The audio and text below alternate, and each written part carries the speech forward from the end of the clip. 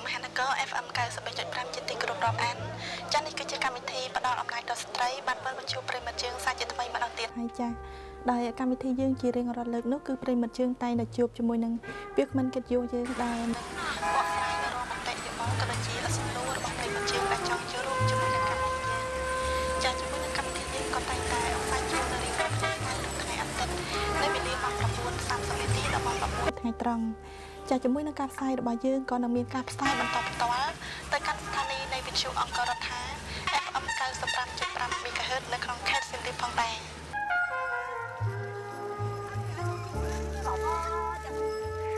The main obstacles for women participation in politics in Cambodia is their mentality and the history and the tradition of uh, our country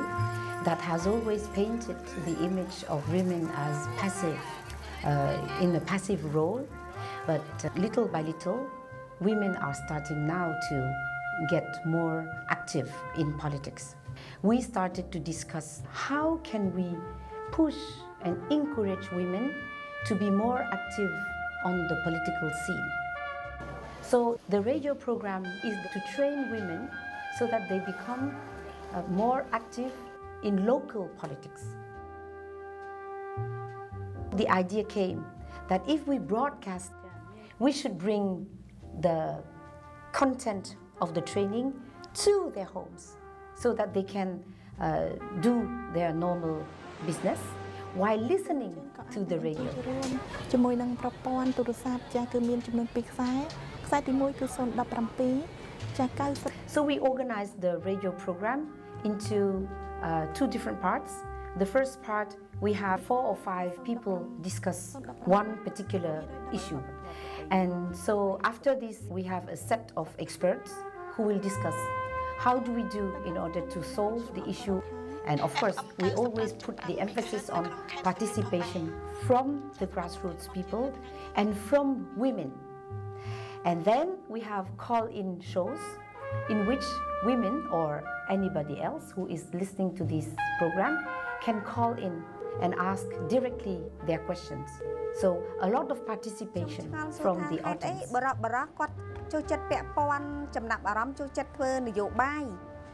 ចាអឺហើយមួយទៀតចំពោះស្ត្រីវិញភាកច្រើនគាត់ដូចជាអត់ខ្វល់ខ្វាយពីការធ្វើនយោបាយចង់ដឹងឮពីរឿងនយោបាយទេចា It did encourage a lot of women to become more active.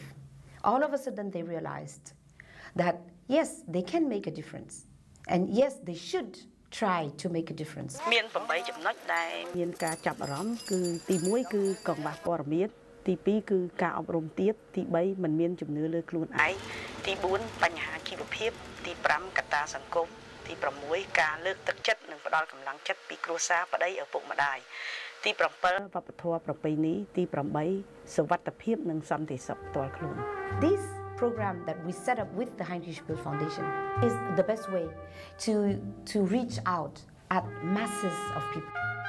We have to make women's voices heard